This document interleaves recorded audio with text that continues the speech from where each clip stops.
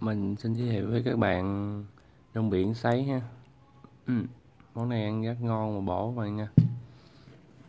À, chúng ta có thể ăn không với cơm nè hoặc là bánh mì à, đồ xào đồ gì đó tùy các bạn.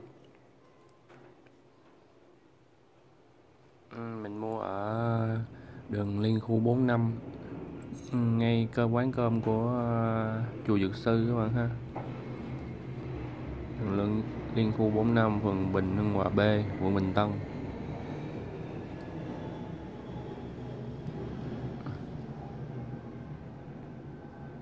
À, mình khui cho các bạn xem nữa nha.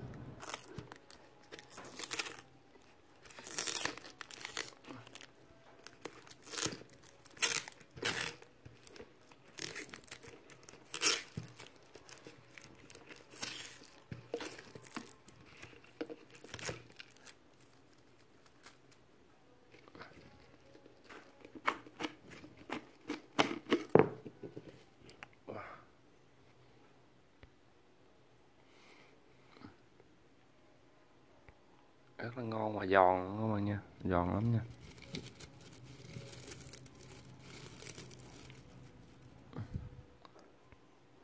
Ừ. còn đây giới thiệu các bạn thêm à, tương khô quẹt của thường chiếu ha. Của thiền viện thường chiếu. À, tương này cũng rất là ngon ha. Ăn à, với cơm nóng rất là ngon mình thường ăn loại này.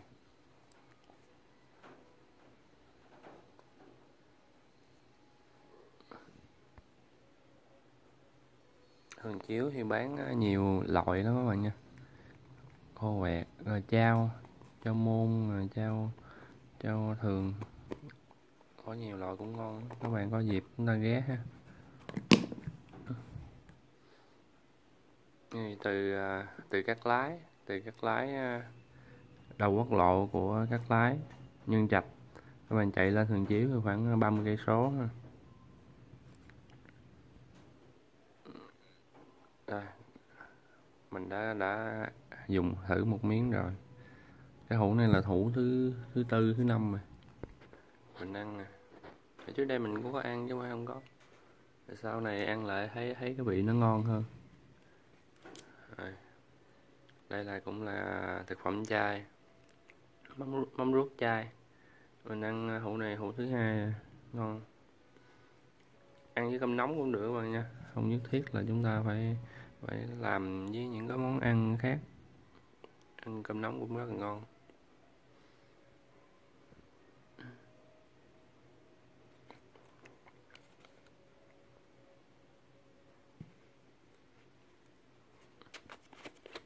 Mình thì thường ăn với cơm á. Hoặc là đồ ăn uh, chay mình hay ăn chia sẻ mấy cái video mà mà có món ăn chay ngon thơm các bạn nha. Mấy món chay mình biết chỗ mua với lại mấy cái có thương hiệu á. À, quý thầy cô làm ngon lắm. Ăn nào có dịp chúng ta lên chùa Phật Quang ha.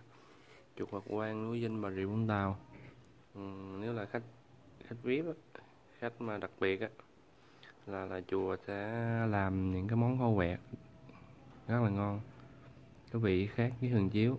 Ừ, có thể nói theo nhận xét bản thân mình nhận xét riêng mình á là con ngon hơn uh, những cái món khô quẹt khác trên thị trường. Không biết uh, quý thầy cô đã làm như thế nào mà mình thấy rất là ngon ha.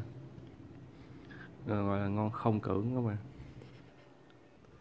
đây mình ăn là lần nhiêu đây? Nhiêu đây là ít đó. trứng nè bỏ vô nồi cơm nấu cho luộc chín nè cái lấy ra ăn lượt chung với khô quẹt chung với uh, rong biển sấy hoặc là ngón chai nhiêu đây thôi phần ăn là, là no. Bình thường là là phải lại quán. Bổ sung thêm ờ, rau cải rồi ha. Này là ăn ờ, một buổi ở nhà. Còn buổi chính là vẫn là ăn cơm ở chùa có rau cải.